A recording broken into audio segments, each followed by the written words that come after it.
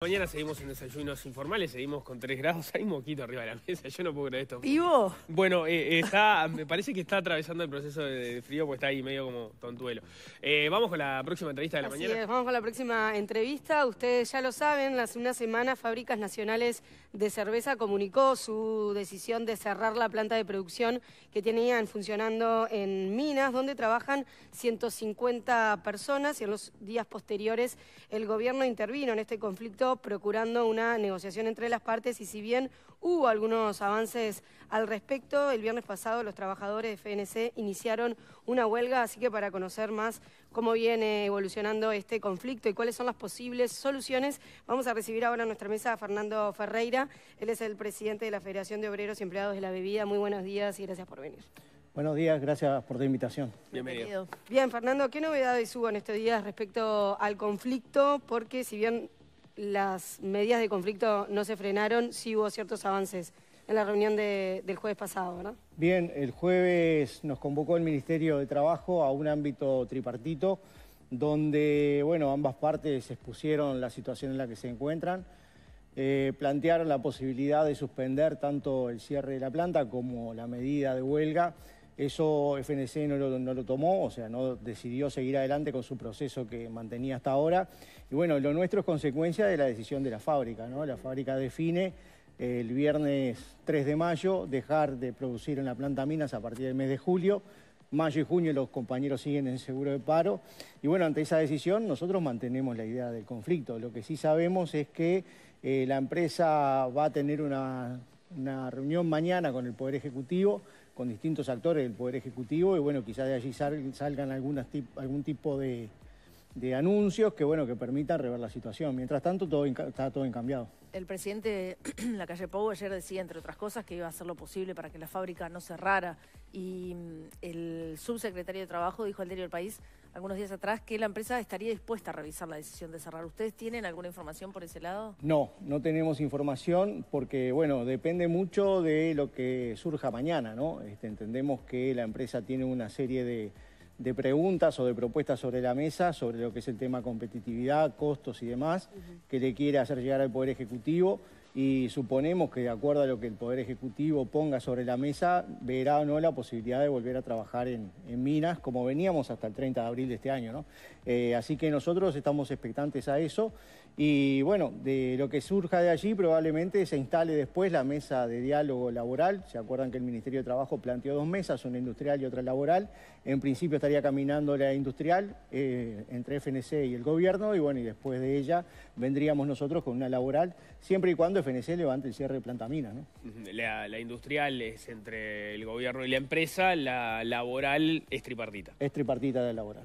Y ustedes entonces están en, en huelga que por tiempo indeterminado a la espera de que eh, avancen las negociaciones entre la empresa y el gobierno. Bien, ni bien, o sea, la idea nuestra es que una vez que nos convoquen al ámbito laboral, bueno, ahí revisar la, la- la huelga como está planteada hoy, eh, con algún elemento sobre la mesa, ¿no? Ese elemento tiene que ser que FNC dice, bueno, estamos revisando el proceso de planta minas. Quiere decir que levante el cierre de planta minas y que diga después cómo va a trabajar planta minas. Porque para nosotros es importante destacar que hay 150 compañeros que ven cómo su fuente de trabajo desaparece de un día para el otro, ¿no?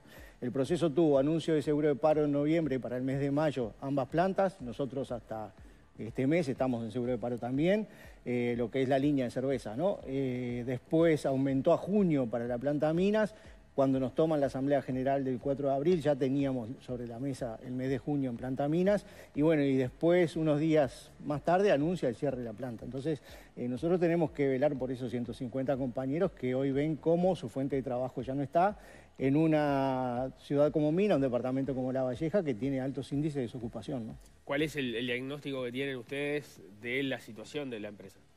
Bueno, la empresa aduce problemas de competitividad con costos muy altos a nivel de energía y demás, eh, y tiene un problema no menor que es la incursión en el mercado de latas baratas. ¿no? Este, el precio del dólar hace que sea más fácil importar que producir en Uruguay. Eh, hoy cerca del 20% del mercado cervecero que no cayó en su consumo, sino que se mantiene, eh, está, digamos, eh, invadido, sustituida la, la industria nacional por importación, producto del bajo costo del dólar. ¿no? Es más fácil importar que producir en Uruguay. Eso hace que un importe, venda, gane y bueno, y después no tiene nada, digamos, en el entorno nacional.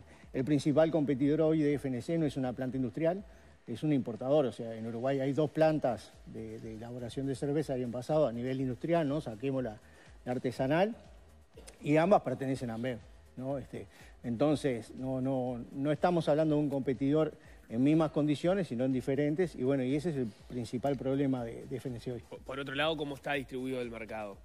Bueno, el mercado, eh, digamos que la cerveza tiene 100 millones de litros de cerveza más o menos consumidos en el año, un 70 y algo por ciento es de Ambev, o sea, llamemos FNC en su gama de productos, un veintitanto de importada y un 3% artesanal. Esa es la composición del mercado. Porque eso es uno de los aspectos que puede llamar la atención. ¿Por qué está en esta situación Fábricas Nacionales de Cerveza, al punto de tener que estar cerrando una de sus plantas si en realidad tiene más del 70% del mercado o el 70% del mercado, que obviamente parece ser una porción interesante? Sí, es interesante lo que, digamos, la capacidad de producción de ambas plantas está pensada como para tener más de un 90. Entonces, cuando se pierde esa capacidad, es obvio que entra, digamos, que choca el interés de la multinacional en cuanto a su capacidad de producción y el personal ocupado.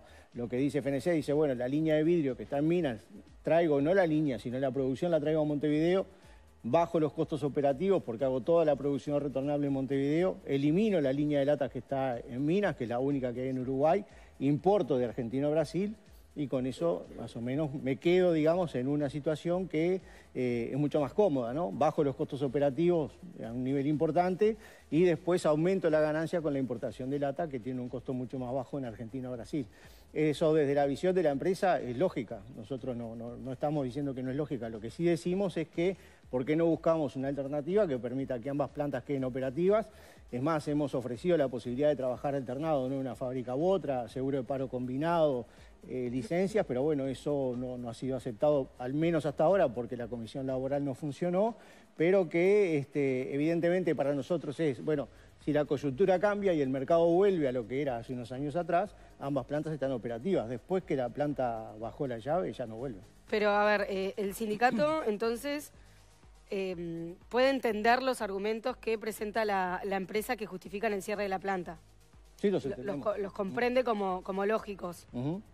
Entonces lo que le reclamas al gobierno sí que cumple un rol más significativo en el conflicto. Bien, nosotros dos cosas. Primero, a la empresa que mantenga ambas, plantas operativas, ¿no? Con alguna batería media, pero... Frente a cómo está hoy presentable el escenario, eso es inviable. Bueno, no, si trabajamos alternado una, una, empresa y otra es viable y nosotros estamos dispuestos al seguro de paro y combinar las licencias y tener de trabajo seis meses o siete meses de acuerdo a la necesidad. Digo, porque vuelvo a lo mismo, si cambia la coyuntura, si después la fábrica ya no está, lo que se precisa de producción no va a estar en Uruguay. Entonces, para nosotros es fundamental que las dos queden operativas. Lo otro que le planteamos al Ejecutivo, no nosotros, sino creo que lo hemos planteado ya del 2022 para acá, tanto en el Ejecutivo como en el Parlamento, como en la Intendencia de La Valleja, decir, bueno, algo que proteja a la industria nacional. ¿no? Este, vemos cómo toda la industria nacional se desmorona en estos días. Tenemos el cierre de Fanacif hace poco, este, Gloria en Nueva Albesia se fue, hay un frigorífico en Salto que también está pensando, producto de la no aceptación de la compra de Minerva, está pensando si se queda o se va. Bueno, vemos cómo la industria nacional va cayendo y está siendo sustituida por importación. Creo que el gobierno debe tomar alguna medida de protección a la industria nacional en su conjunto, no solo al ámbito, al ámbito de la cerveza. ¿Cuál sería la medida de protección? bueno, creo que tiene que ver con algunos aspectos impositivos, ¿no? Y decir, bueno, alguien dice, bueno, proteccionismo no está permitido por los acuerdos Mercosur y demás, pero hay modalidades, digamos, a nivel de devoluciones fiscales que los hacen los países vecinos también, ¿no? Este, no nos engañemos con eso. Tanto Brasil como Argentina tienen políticas proteccionistas. Y bueno, y después buscar alguna solución que permita que la industria nacional sobreviva. Si seguimos así, no queda nada. Ahí la, las lógicas que se podrían emplear o algunas de las cuales ustedes han propuesto. Una es la que vos mencionabas del seguro de paro rotativo, o sea que por un tiempo vayan los trabajadores de Montevideo a seguro de paro, por otro tiempo Minas y así vayan alternando. La otra posibilidad es volver a un esquema de devolución este, de IMESI como que el que se tuvo hasta 2021, que venía reduciéndose de manera gradual. Eh, algo que había surgido hace ya muchos años porque las bebidas importadas tenían, este, tributaban doble y mes y eso estaba este, observado internacionalmente, entonces lo que se hizo fue, se sacó ese doble y Messi y entonces empezó con la devolución como una medida proteccionista.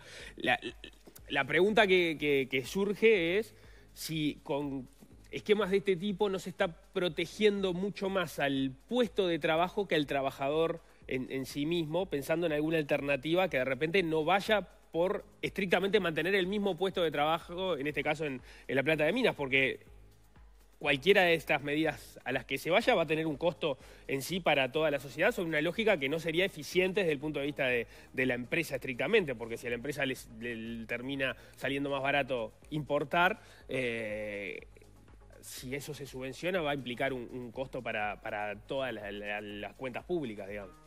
Sí, a ver, eh, nosotros tuvimos dos situaciones, o tuvimos una y tenemos otra ahora. Argentina, costo, producción y demás, eh, hasta antes de la asunción de mi ley, era un problema para la industria nacional.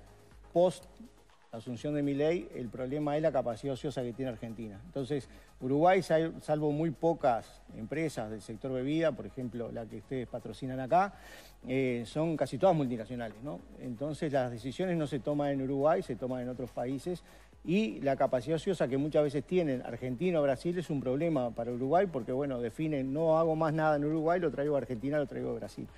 Esa evolución fiscal que estuvo durante varios años, cayó en el 2021, tuvo un proceso de discusión, si se acuerdan, con una parte que iba para el clínicas, otra parte que quedaba. Eh, es una exoneración fiscal que en definitiva el Estado se priva de recaudar. Ahora, si nosotros perdemos 150 puestos de trabajo en minas, son casi 2, 3 millones de dólares que dejan de circular en la economía minuana.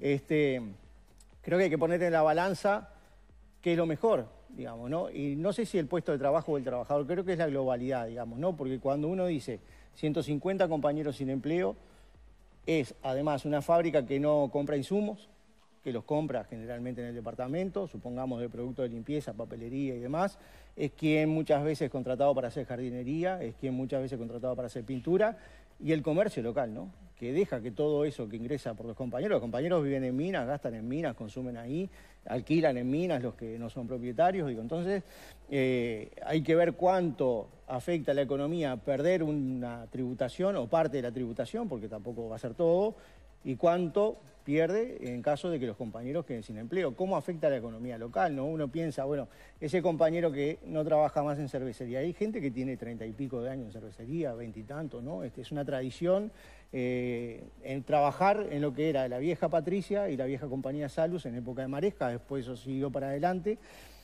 Creo que gran parte de la población jubilada o activa dependió mucho tiempo de ambas plantas eh, y bueno, y eso afectaría hoy el arraigo de los compañeros, porque si no tienen su fuente de trabajo ahí, van a tener que ir a otro departamento a buscarlo, y lo que es la situación del comercio local, ¿no? Porque también, a diferencia de Montevideo, que muchas veces nosotros consumimos grandes superficies, ¿no? Y demás, allí es mucho más cercano, más este más, de, más sensible en el sentido de que es una convivencia, conozco al bolichero, voy, le compro, es un vecino. Eh, entonces, bueno, va a afectar toda la economía departamental, ¿no? Este, entonces, hay que poner en la balanza cuánto cedo y cuánto pierdo en un lado o en el otro. De todas formas, retomando lo que decía Nico, el otro día estuvimos acá con el ministro interino de Industria, Walter Berry, y él decía que esto del IMESI podía ser una de las opciones viables.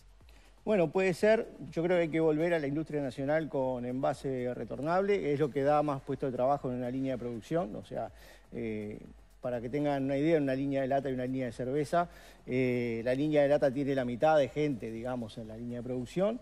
Para nosotros es mucho mejor, siempre va a ser mejor el vidrio, lo que pasa que a veces también los cambios de hábito de consumo de la gente eh, no siempre van para ese lado. Creo que hay que buscar la vuelta eh, a, través de precio, digamos, y, algún tipo de mensaje con el medio ambiente de que la gente vuelva a consumir el tema de lo envasado en vidrio. Por ejemplo, eh, Corona, ahora en Uruguay, hay una evolución por el envase vacío. Eso hace que Corona se vaya a envasar en Uruguay, se va a envasar acá en la planta FNC.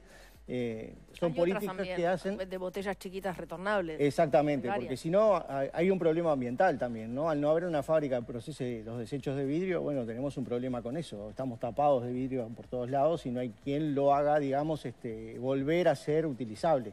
Eh, entonces creo que se, por ese lado se van dos puntas, ¿no? Una el tema ambiental, Una, el tema de volver al envase retornable que ocupa más compañeros en la línea de producción. Y bueno, si la empresa eh, es favorecida por algún tipo de evolución fiscal, valorará o no si eso es positivo para seguir adelante. Ahora, Barry también señalaba el riesgo de que se genere un efecto espejo, un efecto rebote y otras empresas que estén en una situación complicada dentro del sector industrial vean este antecedente y vean que frente a la amenaza de cerrar la planta interviene el gobierno y consiguen beneficios tributarios. Sí, creo que es una posibilidad, digo, no, no lo descarto, creo que es una pregunta a la Cámara de Industrias que este, el sábado, después de anunciada el cierre de la planta mina, sacó un comunicado y bueno, dentro de esas cosas planteó un montón de temas que tienen que ver con lo laboral, que tienen que ver también con los costos operativos en Uruguay. Entonces creo que es una pregunta más para ellos, si es la táctica o la estrategia que tiene la Cámara de Industrias hoy de preparar al gobierno en un año electoral eh, conseguir beneficios fiscales que lo favorezcan, ¿no? Pero bueno, no es la del sindicato. ¿Cómo, cómo, cómo jugaría el, el año electoral en ese esquema? Ah, yo creo que juega mucho, creo que juega mucho porque evidentemente eh, el gobierno piensa en una reelección. Eh, creo que estos anuncios, no solo de FNC, voy al anuncio de la Cámara de Industria el sábado posterior al anuncio del cierre de fábrica, eh, tienen que ver con un año electoral y obviamente no sería tonto no pensar que en un año electoral hay un abanico de empresas que empiezan a bajar su cortina y que a la vez piden este, alguna evolución o, contemplación en lo fiscal. O sea, eh, estoy tratando de seguir el razonamiento. Eh, lo, que, lo que ustedes dicen es, en la medida de que eh, las empresas empiezan a amenazar con bajar cortina, generan presión porque eso genera conflictos y el gobierno, porque en, un esquema de campaña electoral no le interesa que esos conflictos estén arriba de la mesa, por supuesto tampoco quiere que las empresas cierren, eh, es más este, flexible a la hora de otorgar los beneficios o los cambios que están pidiendo esas empresas. ¿Ese es el razonamiento? El mío. Eh, no quiere decir que sea el de todos los compañeros. Es el mío, pensando y viendo sobre la mesa acciones, declaraciones y bueno, y cómo sigue después eh, los anuncios que también hace el Ejecutivo, ¿no? Pero tú sos el, presidente del sindicato, ¿es algo que conversan esto que este mm, Bueno, a veces lo conversábamos en la dirección, ¿no? Este, que uno tenga la presidencia hoy del sindicato es una, eventualidad, ¿no? Nosotros ahora en septiembre tenemos elecciones, puedo seguir siendo no, o sea que es una eventualidad. Sí lo intercambiamos entre los compañeros de la dirección del sindicato, este, como bueno, eh, yo lo decía el otro día en la asamblea, somos el jamón del medio de un sándwich que que en definitiva no queremos ser, ¿no? Entre un gobierno y una empresa donde obviamente hay conflictos y que están esperando a ver quién cede qué para ver qué se da. Pero bueno, es una posición, digamos... Pero hoy, se ubican más cerca de los empresarios. ¿Nosotros? ¿O no? No, no, nosotros nos centramos en el tema de la defensa de los puestos de trabajo. Ahora, si el gobierno entiende que tiene que dar una serie de beneficios fiscales y a nosotros nos garantiza que planta minas abre y después discutimos si con 150, con 100, 120, estaremos de acuerdo en lo que plantea el gobierno. Sí, para nosotros lo fundamental es la fuente de trabajo. O sea, lo que sí decimos que hay un problema, digamos, en la industria nacional que no se está atendiendo, que no se atendió, que hace mucho tiempo que viene con complicaciones. y ese es un punto de coincidencia con... Menos del 10% de la mano de obra en Uruguay está ocupado en una fábrica. Entonces, obviamente los empresarios dicen, tengo problemas. Sí, pero los empresarios también dicen que el problema es el salario. Y nosotros no decimos que el problema es el salario. Ejemplo, dicen, no, ustedes trabajan seis horas. Eh, había un tuit de un empresario que un tiempo fue presidente de la Cámara de Industria diciendo, bueno, eh, de seis horas cero, pero desconoce totalmente cómo funciona el sistema. Eh, seis horas trabajan 40 personas en FNC, mm. o en tres turnos 30, y hay una población de casi 500. Los demás trabajan o 44 horas porque están en administración o 48 porque están en el sector industrial. En minas todos trabajan 48 horas semanales.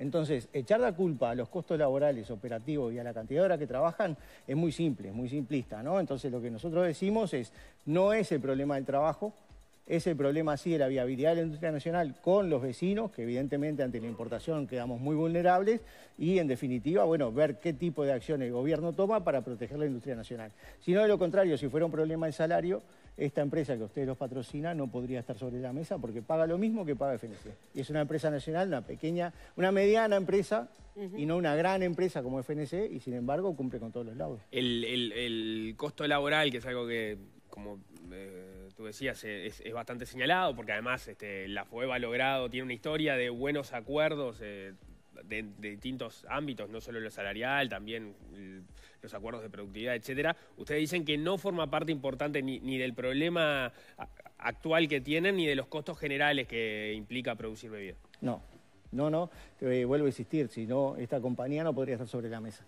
Es una mediana empresa por la cantidad de gente que ocupa, cumple con todos los laudos del sector bebida, cumple con el aguinaldo complementario, no tendrá acuerdo de productividad, pero eso es un acuerdo interno que cada fábrica con su sindicato laudó y que es un beneficio también para la fábrica. ¿no? Cuando nosotros decimos seis horas en la línea de cerveza, si yo trabajo tres turnos con la misma gente que antes laburaba dos, lleno, en lugar de 16 horas, lleno 18. Hay un aumento de la producción con la misma gente, es un aumento de la productividad. Entonces, eh, lo que nosotros tenemos es un convenio sí que estudia las eficiencias de línea, cómo bajar los gastos, cómo, en fin, eh, que contemple que eh, la producción tenga un costo menor. Ese es un convenio de productividad interno. Ahora, eh, no va atado al laudo esa parte. Y sin embargo, las demás empresas del sector también lo cumplen. si no, no podría darse la existencia de un agua mineral nacional, como es la que ustedes patrocinan, y que en definitiva cumple con todo eso si los costos operativos fueran tan altos que hacen inviable la industria. Muy bien. Fernando Ferreira, presidente de la FOE, muchas gracias por venir. No, gracias a ustedes por la invitación. Gracias. hacemos